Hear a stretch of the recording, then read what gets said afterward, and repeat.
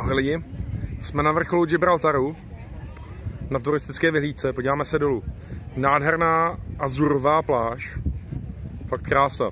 Vidíte, že má udělanou eh, kamennou zítku, to je z toho důvodu, aby tam byl klidnější prout a aby se moře lépe vyhřálo, takže se tam bude perfektně plavat. Eh, to je místo, kam půjdeme, jen co sejdeme z Džibu. Spousta resortů, hotelů, spousta obyčejných pláží, ale myslím si, že více mi líbí ta Azurová, takže tam půjdeme.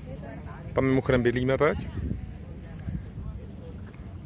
Hlavní gibraltárská skála, kterou znáte ze všech obrázků, eh, alias arabsky Džebe al Tariq.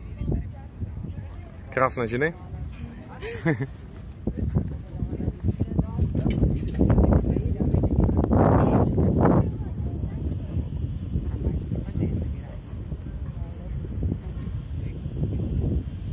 A pohled na město, pojďme se podívat. Město. Tak, přistávací dráha, která je tolik známá. Vidíme tady taky město a přístav. A v dáli vidíme Algeciras a to je všechno. Přeji vám krásný den.